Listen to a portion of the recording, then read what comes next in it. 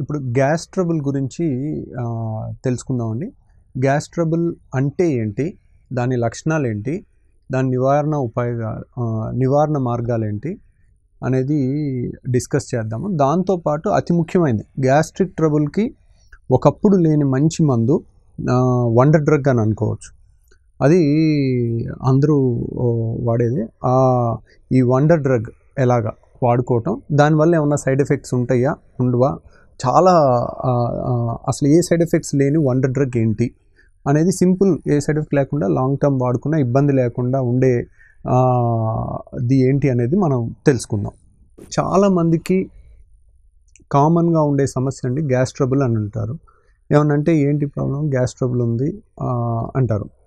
అసలు ఈ gas trouble అంటే ఏంటి?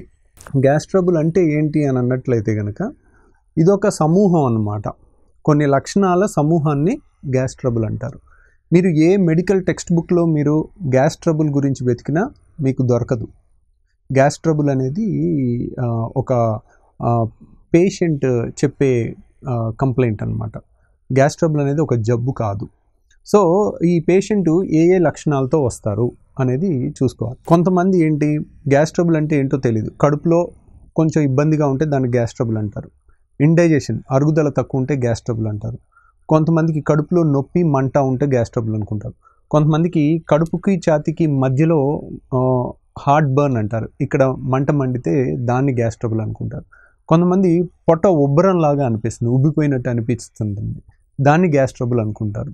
కొంతమంది తేపులు ఎక్కువ వస్తుంటాయి. గ్యాస్ బయటకు వచ్చేస్తుంది గ్యా దాన్ని గ్యాస్ ట్రబుల్ అనుకుంటారు. కొంతమందికి కింద నుంచి గ్యాస్ ఎక్కువ వెళ్ళిపోతూ ఉంటుంది. దాన్ని గ్యాస్ ట్రబుల్ అనుకుంటారు. కొంతమంది గ్యాస్ ఎక్కువ వెళ్ళినా తక్కువ వెళ్ళినా దుర్వాసన వస్తే దాన్ని గ్యాస్ ట్రబుల్ అనుకుంటారు. కొంతమంది కాన్స్టిపేషన్ వస్తే దాన్ని గ్యాస్ ట్రబుల్ అనుకుంటారు. కొంతమందికి ఒళ్ళంతా గ్యాస్ పట్టేసింది అని అంటారు. అదేంటో వాళ్ళు చెప్పలేరు. సో ఇలా ఈ ఏడు రకాల పద్ధతుల్లో గ్యాస్ ట్రబుల్ అనేది మనకి ఒక్కొక్కళ్ళు ఒక్కొక్క విధంగా అన్వయించుకుంటున్నారండి. ఏదేమైనప్పటికీ గ్యాస్ ట్రబుల్ అంటే యూజువల్గా డైజెషన్కి పొట్టకు సంబంధించింది. సో మనం ఇలా పేషెంట్ కంప్లైంట్స్ అన్నీ కనుక తీసుకున్నట్లయితే గ్యాస్ ట్రబుల్ కింద పరిగణించినట్లయితే దాంట్లో నూటికి ఎనభై పాళ్ళు యాసిడ్కి సంబంధించిన గ్యాస్ ట్రబులే ఉంటాయండి. అంటే ఎసిడిటీ ప్రాబ్లమ్స్ నూటికి ఎనభై పర్సెంట్ ఉంటాయి. మిగిలిన ఇరవై ముప్పై పర్సెంట్ మధ్యలో మిగిలిన మనం డిస్కస్ చేసిన మిగిలిన అన్ని ప్రాబ్లమ్స్ కూడా ఉండే అవకాశం. ఈ ఎసిడిటీ అంటే ఏమిటి? యాసిడ్ అనేది మనకి ప్రకృతి ఇచ్చిన ఒక డిఫెన్స్ మెకానిజం. అంటే మన బాడీలోకి ఏ బ్యాక్టీరియా అంటే ఆ బ్యాక్టీరియా వచ్చి నోటి ద్వారా లోపలికి వెళ్ళే ఎంట్రన్స్ దగ్గర ఈ తీసుకున్న ఫుడ్ మీద యాసిడ్ అనేది మన బాడీలో తయారవుతుందండి. స్టమక్లో జీర్ణాశయంలో తయారవుతుంది. అది దాంట్లో ఉన్న చాలా బ్యాక్టీరియాని చంపేయటానికి కానీ ఫుడ్ని బ్రేక్ చేయడానికి కానీ ఉపయోగపడుతుంది. సో ఈ యాసిడ్ కావాల్సిన దానికన్నా ఎక్కువ ప్రొడ్యూస్ అయినా మనకి గ్యాస్ ట్రబుల్ వచ్చే అవకాశం ఉంటుంది.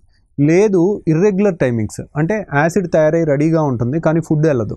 సో ఆ యాసిడ్ అంతా మన పేగుల గోడల మీదే పనిచేస్తూ కడుపు మంట ఆకలి ఆకలి వచ్చినప్పుడల్లా కడుపు మంట వస్తుంది చూడండి. ఎందుకని? యాసిడ్ తయారైపోయి ఉంటుంది ఫుడ్ వెళ్ళదు. ఫుడ్ తినగానే మీకు మీకు ఆ గ్యాస్ ట్రబుల్ తగ్గిపోతుంది. అంటే ఆ కడుపు మంట తగ్గిపోతుంది. తర్వాత స్ట్రెస్ ఎక్కువ ఉన్నా కానీ ఎసిడిటీ అనేది యాసిడ్ పెరుగుతుంది స్ట్రెస్ ఎక్కువ ఉన్నప్పుడు. దానివలన కూడా ఎసిడిటీ అనేది వస్తుంది.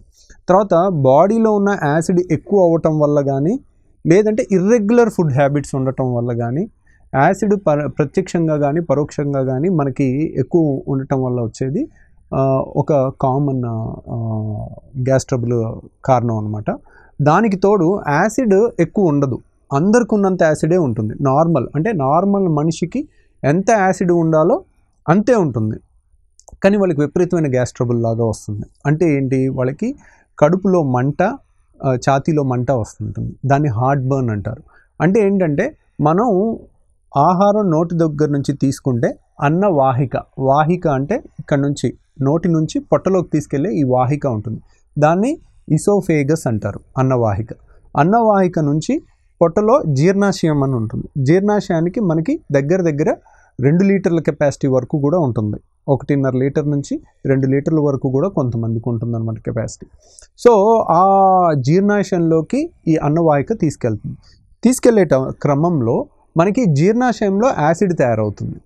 సో ఈ యాసిడ్ జీర్ణాశయంలో ఉంటే ఏ ప్రాబ్లం ఉండదు. జీర్ణాశయ గోడలు యాసిడ్కి అనువుగా తయారు చేయబడింది ప్రకృతిలో. కాబట్టి దానివల్ల మనకి యాసిడ్ అక్కడ కొద్దిగా ఎక్కువైనా మరీ ఎక్కువైతే తప్పితే మనకి ఇబ్బంది ఉండదు.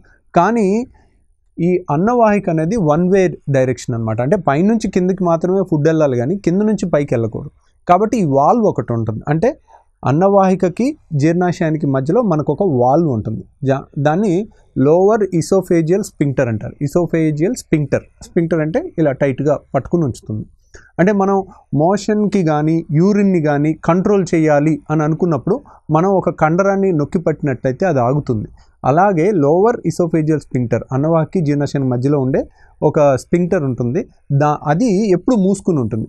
మనం గొంతులో మింగినప్పుడు అది తెరుచుకుని ఫుడ్ లోపలికి వెళ్ళగానే మళ్ళీ మూసిపోతుంది ఈ స్పింక్టర్ అనేది చాలామందికి లూజ్గా ఉంటుంది. లూజ్గా ఉంటే ఉంది నార్మల్ యాసిడ్ ఉన్నా కానీ స్టమక్లో ఉండాల్సిన యాసిడ్ అంటే జీర్ణాశయంలో ఉండాల్సిన యాసిడ్ వెనక్కి తన్ని ఇసోఫేగస్లోకి వస్తుంది. ఎందుకు? ఈ వాల్వ్ పాడైపోయింది కాబట్టి లూజ్ ఉంది కాబట్టి. అప్పుడు ఏమవుతుంది మొత్తం చాలా వరకు యాసిడ్ వెనక్కి తంతుంది.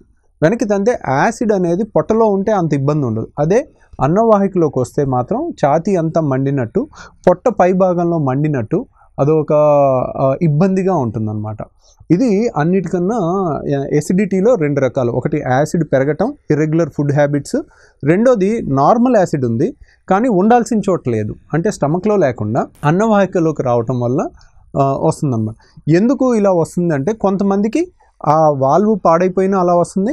రెండోది వాల్వ్ పాడవకపోయినప్పటికీ కూడా స్టమక్ లావ్ అయిపోయారనుకోండి పొట్ట బాగా పెరిగిపోతే కనుక పొట్టలో ప్రెషర్ పెరుగుతుంది. ఎప్పుడైతే పొట్టలో ప్రెషర్ పెరుగుతుందో ఈ valve lower esophageal sphincter valve ఐదు నిమిషాలకు ఒకసారి తెరుచుకుంటుంది. తెరుచుకున్నప్పుడు ఒకేసారి ఎక్కువ యాసిడ్ ప్రెషర్ పొట్టలో నుంచి యాసిడ్ వెనక్కి ఎక్కువ తన్నే అవకాశం ఉంటుందన్నమాట. సో ఈ రెండు కారణాల వల్ల ఎసిడిటీ అనే సమస్య వస్తుంది. ఈ ఎసిడిటీ తో పాటు ఇంకా వేరే గ్యాస్ ట్రబుల్ పేషెంట్స్ వివరించేది ఏంటంటే అధిక తేపులు రావటం అధికంగా గ్యాస్ కింద నుంచి వెళ్ళిపోవటం. చాలామంది ఇది ఒకటి అర్థం చేసుకోవాలండి. మన బాడీ ఏమీ గ్యాస్ ఫ్యాక్టరీ కాదు. మన గ్యాస్ దానంతటి అది తయారవ్వదు. గ్యాస్ నూటికి తొంభై పాళ్ళు గ్యాస్. మీరు దీని మీద ఎన్నో పరిశోధనలు చేశారు. అందరికీ ఎప్పుడు తేపులు ఎప్పుడు ఎక్కువ వస్తుందండి. బాగా తిన్న తర్వాత వేవని తేపుతారు. తిన్న తర్వాత. ఎందుకని అలా వస్తుంది? తినేటప్పుడు ప్రతి ముద్ద మింగేటప్పుడు మన నోట్లో గాలి ఉంటుంది మన ముక్కులో గాలి ఉంటుంది. నోట్లో ముద్ద పెట్టుకుని మనం మింగేటప్పుడు ఆ ముద్దతో పాటు కొంత గాలిని మనం నోటి ద్వారా మింగటం జరుగుతుంది. ఈ మింగిన గాలి అనేది స్టమక్లోకి వెళ్తుంది అనమాట అంటే జీర్ణాశయంలోకి వెళ్తుంది. జీర్ణాశయంలోకి ఒక పది ముద్దలో ఇరవై ముద్దలో తినేసిన ప్రతి ముద్దలో కొంత గాలి. అంటే ఒక two ML one ML half ML మనం మింగుతాం. ప్రకృతిలో ఉన్న గాలిని మింగుతాం అనమాట అదంతా చేరిన తర్వాత తిన్న తర్వాత మనం నిలువుగా కూర్చుంటే ఏమవుతుంది? మనం తిన్న ఫుడ్ అంతా కిందకి వెళ్తుంది. గ్యాస్ అంతా జీర్ణాశయం నిండా నిండిపోయిన తర్వాత గ్యాస్ పైకి వస్తుంది. ఐదు నిమిషాలకు ఒకసారి నేను చెప్పాను కదా ఈ వాల్వ్ అనేది ఓపెన్ అయ్యి క్లోజ్ అవుతుంది. ఆ క్లోజ్ అయినప్పుడు ఆ ఓపెన్ అయినప్పుడు బేవ్ అని తేపు బయటకు వచ్చేస్తుంది. ఎందుకు? పై భాగంలో గ్యాస్ ఉంటుంది కదా అది ఒక్కసారి ఎస్కేప్ అయిపోయి బయటకు వస్తుంది అనమాట కాబట్టి మనకి తేపుల్లో వచ్చే గ్యాస్ అనేది బాడీలో తయారైన గ్యాస్ కాదు. ఖచ్చితంగా వందకి వంద పర్సెంట్ మనం నోటి ద్వారా మింగిన గ్యాసే వెనక్కి వస్తుంటుంది. కాబట్టి మీరు కావాలనుకుంటే నోట్లో నీళ్ళు మింగినట్టే ఒట్టి గ్యాస్ని కూడా మింగొచ్చు. నోట్లో బొగ్గులు ఉబ్బిచ్చేసి మీరు గట్టిగా గుటకేయండి.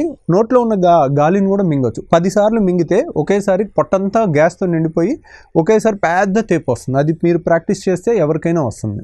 ఇది తేపుల గురించి అండి అదే తేపుల్లో ఒకటి గుర్తుపెట్టుకోవాల్సింది. తేపుల్లో బయటికి వచ్చే గ్యాస్ కేవలం మనం మింగిన గ్యాస్. అది కొంతమంది ఎక్కువ మింగుతారు. ఎందుకని మింగుతారు అంటే మనకి తెలియకుండా ఏదో టీవీ చూస్తూ సెల్ ఫోన్ చూస్తూ ముద్ద చిన్నది పెట్టుకుని నోట్లో ఉన్న గాలి ఎక్కువ మింగటం వల్ల అవ్వచ్చు.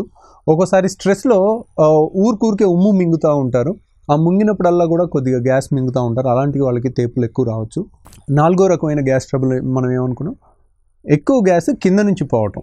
కింద నుంచి పోయే గ్యాస్ యూజువల్గా అది విరోచనంతో కలిసి ఉండే గ్యాస్. అది బాడీలో తయారయ్యే అవకాశం. ఉంది దాంట్లో కూడా చాలామంది పరిశోధనలు చేశారు దీంట్లో. ఇదేం గ్యాస్? ఎక్కడి నుంచి వస్తుంది? ఎలా తయారవుతుందని. ఈ గ్యాస్ అనేది ఈ దుర్వాసన వచ్చే గ్యాస్ హైడ్రోజన్ సల్ఫైడ్ మీథేన్ ఇలాంటి రకాల గ్యాస్ కొంచెం తయారవుతుందండి. ఎందుకంటే మొత్తం డైజెస్ట్ అయిపోయాక మిగిలిన ఫుడ్ ఒక రోజు మన బాడీలో ఉండి బయటకు వెళ్ళే ముందు ఉంటుంది. అది కొంచెం స్టాగ్నేట్ అయి ఉండటం వల్ల దాని నుంచి ఈ బ్యాక్టీరియా కొన్ని కోట్ల బ్యాక్టీరియా మన బాడీకి కావలసిన బ్యాక్టీరియా మన పేగుల్లో ఉంటాయి కాబట్టి ఆ బ్యాక్టీరియా అంతా దాని మీద పనిచేసి దాని రీసైక్లింగ్లో కొంత గ్యాస్ తయారవుతుంది. అవి కొంత దుర్వాసన కలిగే అవకాశం ఉంటుంది.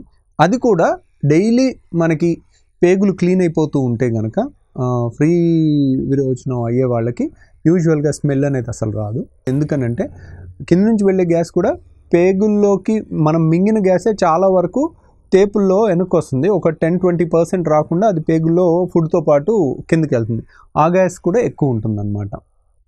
కాబట్టి అది కూడా న్యాచురల్ ప్రాసెస్ అండి దాని గురించి అతిగా మనం చాలామంది ఆలోచించి ఆలోచించి అయ్యో నాకు ఈరోజు గ్యాస్ రిలీజ్ అవ్వలేదు గ్యాస్ రిలీజ్ అవ్వ ఆ టెన్షన్కే వాళ్ళకి పేగులు కదలికలు మార్పులు వచ్చి ఇంకా పొట్టలో ఇబ్బందిగా పడతా ఉంటారు. తర్వాత కొంతమందికి పొట్ట ఉబ్బరం ఉంటుందండి. పొట్ట ఉబ్బిపోయినట్టు ఉంది. చూడండి సార్ పొట్ట ఇంత లావు అయిపోయింది ఉబ్బిపోయింది. ఇదంతా గ్యాస్ గ్యాస్ అంటుంటారు. ఈ పొట్ట ఉబ్బరం అనేది చాలా కామన్ కంప్లైంట్ అండి. ఈ పొట్ట ఉబ్బరానికి గల కారణం ఏంటి అంటే నూటికి తొంభై పాళ్ళు కొంచెం వెయిట్ ఎక్కువ ఉన్న వాళ్ళకి పొట్ట దగ్గర మగవాళ్ళకైతే ఎక్కువగా పొట్ట దగ్గరే డిపాజిట్ అయ్యే అవకాశం ఉంటుంది ఫ్యాట్. అది ఒక కారణం అయితే గనక ఆ ప్రెషర్ పెరిగినందువల్ల మనకి ఫ్యాట్ ఎక్కువ అవటం వల్ల కూడా లోపల అది గ్యాస్తో నిండిపోయిందేమో అన్న ఫీలింగ్ కలుగుతుంది కొంతమందికి.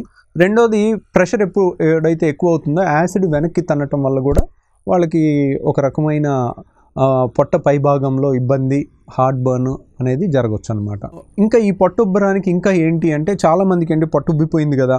ఇది లోపల గ్యాస్ తయారవటం వల్ల ఉబ్బిపోయింది. లేదంటే మోషన్ ఫ్రీగా కావలేదు నాకు ఈరోజు మార్నింగ్ ఫ్రీగా అవ్వలేదు. అన్న ఫీలింగ్తో ఉండిపోయి అందుకే పట్టుబ్బిపోయిందని అనుకుంటారు. యూజువల్గా డైలీ ఒక hundred grams two hundred grams విరోచనం వెళ్తుంది అనుకోండి. దానివల్ల మనకి ఎక్కువ పట్టుబ్బిపోయే అంత గ్యాస్ కానీ పట్టుబ్బిపోయే అంత మలం కానీ తయారవటం అనేది చాలా అరుదు.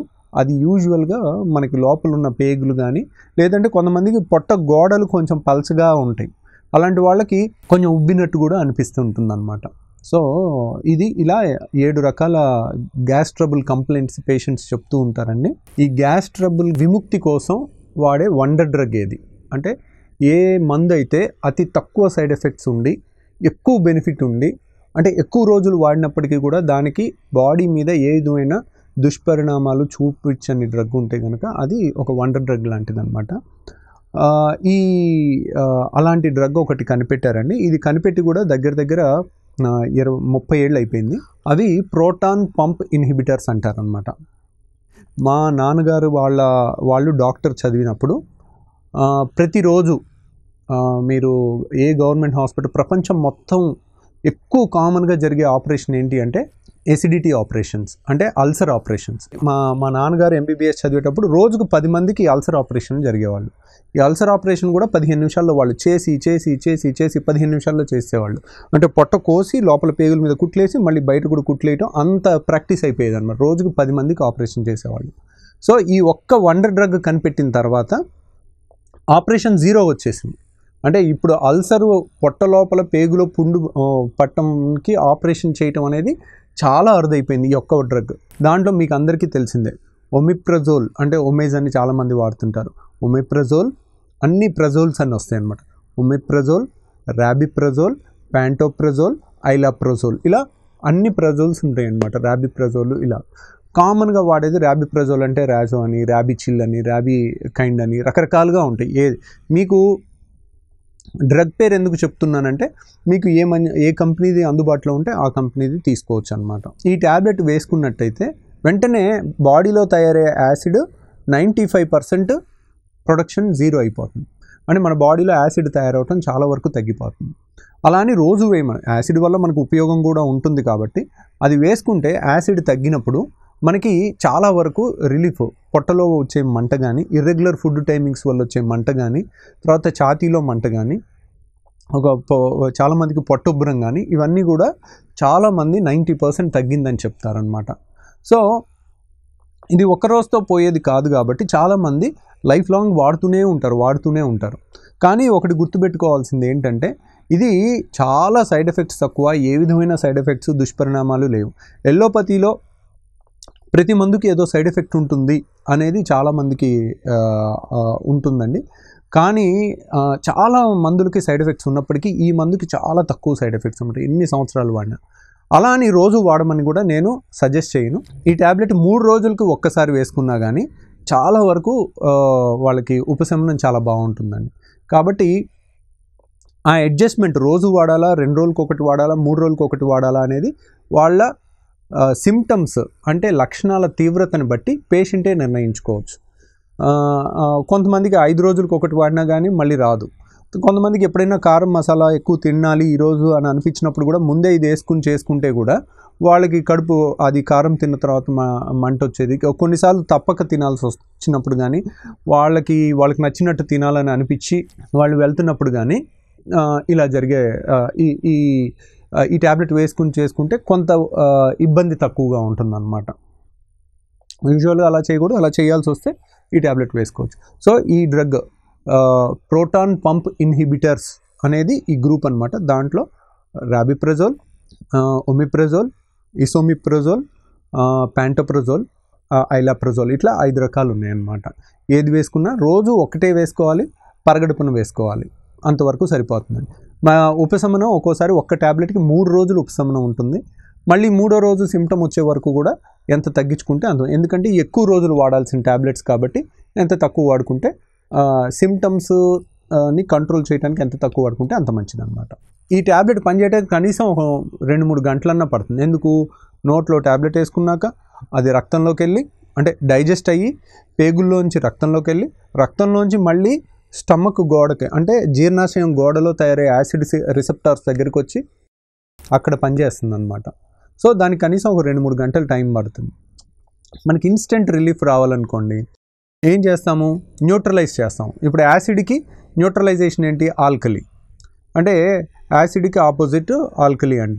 యాసిడ్ ఆల్కలి కలిపేస్తే ఏమవుతుంది? న్యూట్రల్. అంటే వాటర్ న్యూట్రల్ పీహెచ్ ఉంటుంది అనమాట సో మన బాడీలో యాసిడ్ ఎక్కువ ఉంది కాబట్టి డైజిన్ జెల్ అని కానీ జెలుసిల్ అని కానీ ఇలాంటివి ఆల్కలీ అనమాట అంటే క్షారం అంటారు. ఆమ్లము క్షారము. ఈ రెండింటిని కలిపేస్తే వెంటనే న్యూట్రలైజేషన్ రియాక్షన్ వచ్చి మీకు వెంటనే ఇన్స్టెంట్ రిలీఫ్ వస్తుంది. చాలా ప్యాకెట్స్ ఉంటాయి మీరు